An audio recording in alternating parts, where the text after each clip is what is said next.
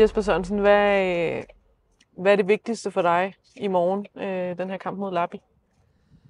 Jamen, det vigtigste det er, at vi får set øh, selvfølgelig, at, at vi har mange spillere, der er klar til at bidrage, og at øh, vi kommer, kommer godt og fornuftigt videre, og så skal vi selvfølgelig vinde kampen, så vi, øh, vi scorer nogle point til dansk fodbold. Så øh, altså, hvor mange rotationer forventer du? Ja, og ikke at give startopstillingen, men Nej, nej, men en del. Ja. En hel del. Er det en, en god mulighed for jer for at give Ja, minutter til... Det synes jeg, det er. Det er en god mulighed for, og nogle gange så låser man sig fast i, at noget er det rigtige, og, og, så, øh, og så er det en god mulighed for at få set nogle andre ting. Hvad bliver det for en opgave? Det er jo nogle andre forhold, I skal spille under i morgen, end dem I spillede øh, under for en uge siden. Ja, det er det. Øh, det er helt anderledes end det, vi er vant til, og, og det er klart, altså, øh, det, det, er jo, øh, det er jo fodbold, øh, når det er bedst, at, øh, at vilkårene de, øh, de ændrer sig efter, hvor man spiller, og det, øh, det er anderledes end det, man er vant til, og det skal vi jo bare kunne håndtere. Øhm, det er derfor, det er godt, at vi kommer ud og får trænet dagen før, øhm, sådan at, at det ikke kommer som en overraskelse, hvad det er, vi går ind til i morgen. Og, øhm, og det, er, det er anderledes, jamen øh, det er jo vilkårene i fodbold. Det, det er jo også mange, der synes, det er charmerende og smukt. Øh, og så, så må vi se, øh, hvordan vi tager det i morgen. Vi, vi kommer selvfølgelig til at, at være klar til at, at, at tage fat, når vi kommer og, står her i morgen. Hvad- Rent spillemæssigt, så bliver det jo et hold, som måske ikke har spillet så mange kampe sammen kontinuerligt, øh, andet end på træningsbanen. Så hvad forventer du sådan rent, rent spillemæssigt? Nå, men er det spillemæssige, der, der forventer jeg, at, at spillerne har en god fornemmelse af, hvad, hvad positioner, øh, strukturer, øh, hvordan, vi skal, hvordan vi skal gribe sådan en kamp her an.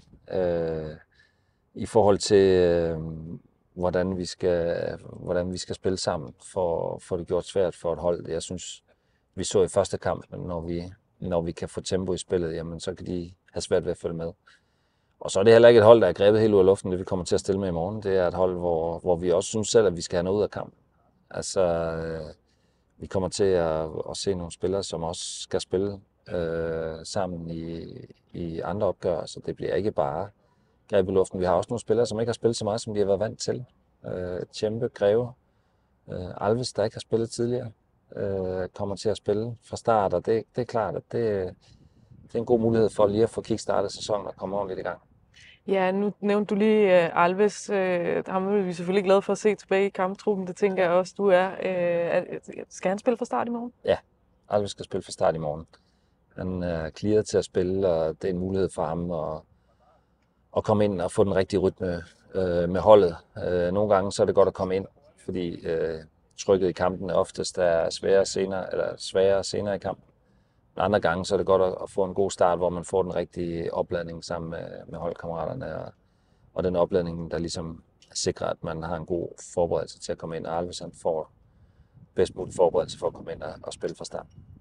Og en, en halvleg, en time? Eller... Ja, det bliver noget den dur. Det bliver ikke fuld tid. Det er lang tid siden. Det er 8 måneder siden, han spillede en en gældende kamp. Så, så det er klart, det er lang tid. Øh, og øh, nu skal han ind og finde rytmen og følelsen her. Ja. Sammen med de andre. Der kommer jo også nogle øh, Brøndby-fans herned. Øh, Ja. En del faktisk, når man tænker sådan på destination og, øh, Ja. og, det, og det sportslige i det. Hvad, hvad betyder det for jer, det her med... Øh, Det er da forrygende. Ja. Altså, vi vandt 6-0 i det første opgør, og nu spiller vi, som I også har bemærket, øh, uden for lands lov ret i Kosovo, hvis man kan sige det sådan. Altså, vi spiller jo langt væk fra, fra en stor by, eller et sted, hvor man øh, lige i nærheden kan lande med et fly osv., så, videre. så det er jo helt fantastisk, at, at der kommer så god opbakning til os i morgen. Så vi glæder os over det, og vi vil gøre, hvad vi kan for at præstere for dem. Og selvfølgelig for os selv. Ja. Øhm, bare lige her til sidst, Jesper, nu er der jo nogle spillere, der er blevet hjemme. Øh, det er jo selvfølgelig også en god mulighed for dem, der, der døjer med nogle små ting, og, og lige få Ja. et, et lille hvil. Hvad, har du en, status på, øh, på nogle af dem, der er ude? Det kan du hurtigt få. Øh, Marco begynder at se bedre ud. Han var med i noget holdtræning øh, for første gang i, i går. Øh, og det så fint ud. Øh, regner med, at han kan blive slusset mere med ind i træning nu.